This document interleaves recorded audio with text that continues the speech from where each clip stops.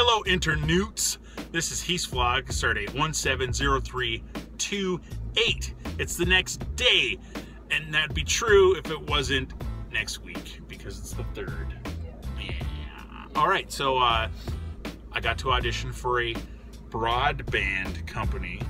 So, and because my Comwave commercial is done, uh, they replaced me with an older Mexican fellow. What does that do? I don't know.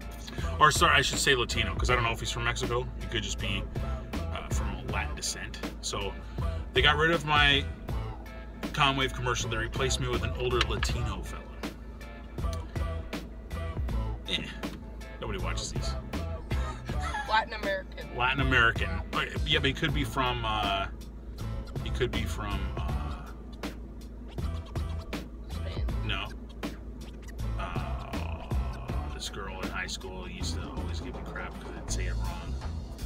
It's in Europe, south a little bit, like Spain area, uh, Portugal.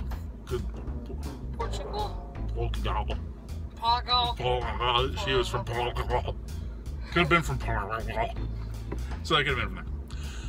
Yeah, okay, so uh, I had to go in, pretend to be a shopper, and then the cashier. And I haven't heard a word, so I probably didn't get it. But that was an audition, and I was prepared because there's no lines, all improv, and I knew I was either a cashier or customer. So I went through all the times where I was a cashier, which was when I was 13, and I was a Burger King, so it didn't really apply. But I've been a customer many, many, many, many, many, many, many, many, many, many, many, many, many, many, many, many times. He came up with this cool invention What's that? for like the triple, the tri shake. The Tri Shake. Yes, I made a divider when I worked at Burger King when I was 13. Besides the 10 patty Whopper, there was the uh, The heart attack. well, the four pat, the four chicken stacker sandwich.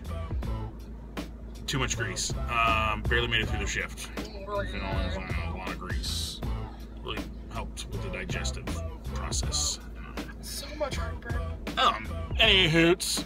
I made a divider that went in the cup, and then I filled vanilla ch- cup, cup, divider. Kind of looked like the peace symbol, I guess. Yeah, I guess. yeah. Okay. Um, or another Mercedes symbol. This was an expensive shake. I put vanilla strawberry chocolate in it. Well, bam. I pulled the thing up.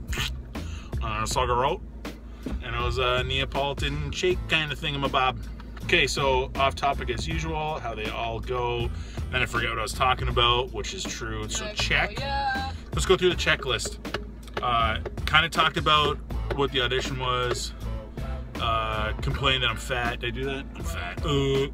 um, uh, Went off the- the that, uh, way off topic. Eight arm story. Like an octopus. And then um, they're kind of bring it back in and then real bye. quick, and then Jack says bye. So that's the five parts to my vlogs. And so now Jack say bye. Bye.